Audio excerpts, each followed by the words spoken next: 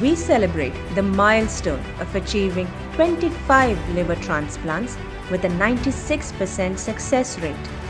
This is the highest number of surgeries ever performed in our history within a span of one year.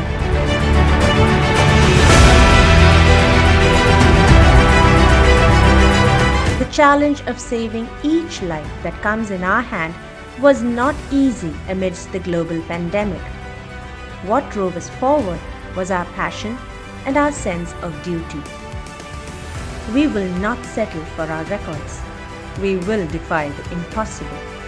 We will continue saving lives.